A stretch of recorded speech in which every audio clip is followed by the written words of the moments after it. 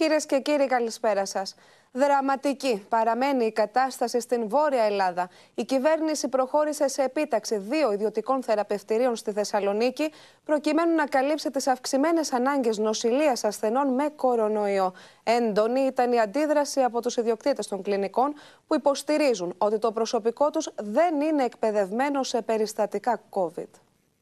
Είχαμε 40 χτες και τώρα έχουμε 42. Άρα τα περιθώρια, ακόμη και εκείνα που δεν υπήρχαν και τα εφευρίσκουμε με οποιονδήποτε τρόπο, έχουν εξαντληθεί και αυτά έμφραγμα στο νοσοκομείο Παπαγεωργίου. Στη διάρκεια της εφημερίας του, οι γιατροί του αναγκάστηκαν, καθώς ήταν κατηλημένα τα 40 κρεβάτια της μονάδας εντατικής θεραπείας, να διασωληνώσουν δύο ασθενείς στα χειρουργεία. Χωρίς κανένα κρεβάτι διαθέσιμο στη μονάδα εντατικής θεραπείας, άρχισε στις 8 το πρωί η εφημερία στο Ιπποκράτιο Νοσοκομείο Θεσσαλονίκης. Γιατροί και νοσηλευτές δίνουν μέσα σε συνθήκες που θυμίζουν πόλεμο έναν άνισο αγώνα. Φτάνουμε πλέον στα όρια μας, ε, ε, εξαντλούνται σχεδόν όλα τα όρια του νοσοκομείου αυτή τη στιγμή. Η ασφικτική αυτή κατάσταση οδήγησε στην επίταξη δύο ιδιωτικών θεραπευτηρίων της Θεσσαλονίκης. Το Υπουργείο Υγείας, μετά το ναυάγιο στις διαπραγματεύσεις με τους κλινικάρχες, προχώρησε στην αναγκαστική ένταξη των δύο θεραπευτηρίων στο Εθνικό Σύστημα Υγείας δεν υπάρχει προετοιμασία. Διότι δεν είναι μία απλή νοσηλεία οποιοδήποτε περιστατικού,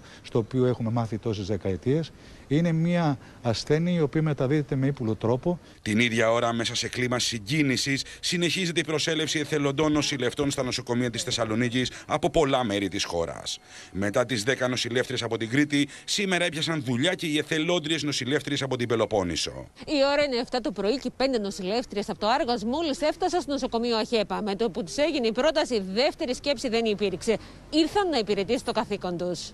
Κίνητρο. Ο ήχος της βοήθειας. Μόνο με, με αλληλοβοήθεια θα βγούμε από αυτή τη δύσκολη κατάσταση. Και με χαρά ήρθαμε να βοηθήσουμε κι εμείς όπως μπορούμε. Σχεδόν αμέσως είπα το ναι.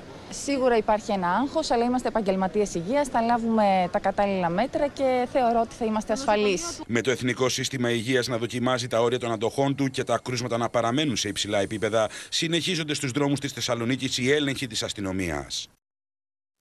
Ιδιαίτερα ανήσυχη είναι η υγειονομική κοινότητα από την ραγδαία άνοδο των διασωληνωμένων που ξεπέρασαν τους 500, την ώρα που τα κρούσματα κυμαίνονται σε πάνω από 3.000. Οι ειδικοί επισημαίνουν πως οι επόμενες ημέρες θα είναι ιδιαιτέρως κρίσιμες με την κυβέρνηση να εξετάζει την παράταση του lockdown. Παρά τα αυστηρά μέτρα του lockdown, ο κορονοϊός καλπάζει στη χώρα μας με το νεοδίν ανακοινώνει χτες 3.227 νέα κρούσματα.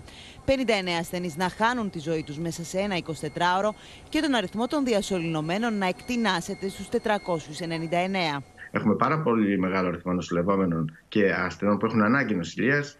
Νοσηλεία σε μονάδες φροντίδας αυξημένη, σε μονάδες δατική διασωληνώσει κλπ. Αυτό θα αργήσει να φανεί, θα, θα καθυστερήσει κάπως. Ελπίζουμε τις προσεχείς μέρες, ιδιαίτερα τις αρχές ερχόμενης εβδομάδας, να αρχίσουν να ελαττώνονται τα κρούσματα. Το Εθνικό Σύστημα Υγείας πιέζεται.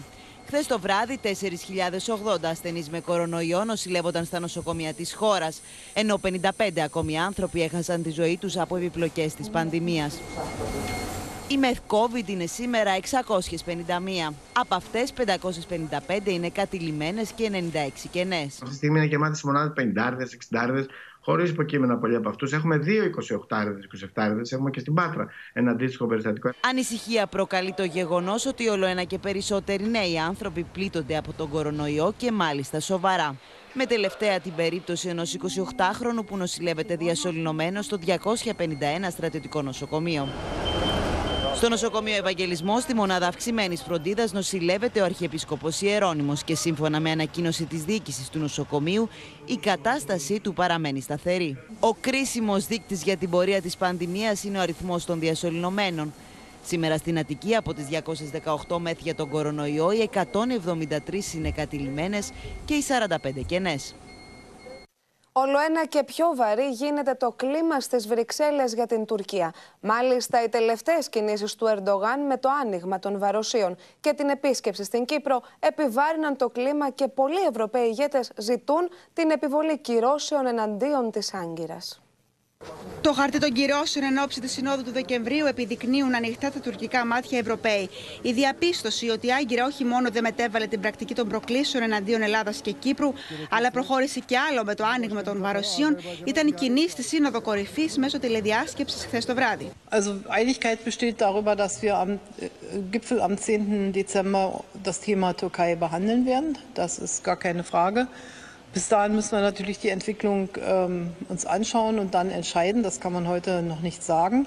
Aber im Augenblick haben sich die Dinge noch nicht so entwickelt, wie wir uns das wünschen. Das kann man schon sagen.